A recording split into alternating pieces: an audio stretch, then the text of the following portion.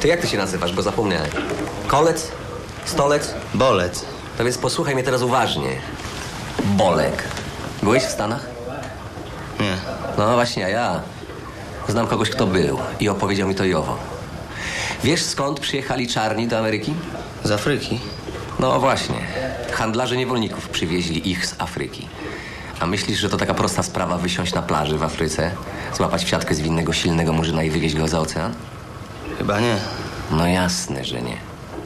Udało im się to zrobić, ponieważ wywozili tylko takich, co albo nie potrafili spierdolić przed siatką, albo byli największymi gołąbami z plemienia i wódz sprzedawał ich za paczkę fajek, bo i tak nie miałaby z nich pożytku.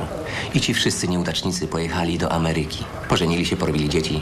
Świat poszedł do przodu. Pojawiły się komputery, amfetamina, samoloty. Ale co z tego, jeżeli ich serca pompują tę samą krew, są potomkami człowieka, który na własnym podwórku dał się złapać w siatkę, więc nie uważam, że naszym chłopakom brakuje luzu, kapujesz?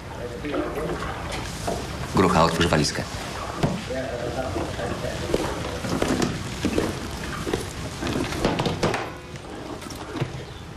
To jest dużo kasy. Twój szef nas olał, nie przyszedł odebrać jej osobiście. On zaraz będzie. Nie przerywaj mi, kiedy zbieram myśli. Przełknąłem tę zniewagę, bo pomyślałem sobie, najważniejsze w tej chwili to ubić interes. Nie ma sprawy. Ubijemy interes. Masz pitbulla, który wygląda jak jamnik. Gibasz się jak pierdolony rezus, zachwycasz się panem Kunta Kinte, marnujesz mojemu kumplowi ścieżkę najlepszego proszku, a na koniec puszczasz tam film o facecie w łódce. I ty chcesz, żebyśmy ubili interes? No właśnie. Kim ty w ogóle kurwa jesteś, pajacu? Rzeczywiście, może nie wszystko wyszło tak jak należy, ale to da się naprawić. Zaraz przyjdą dziewczyny i ubijemy ten interes.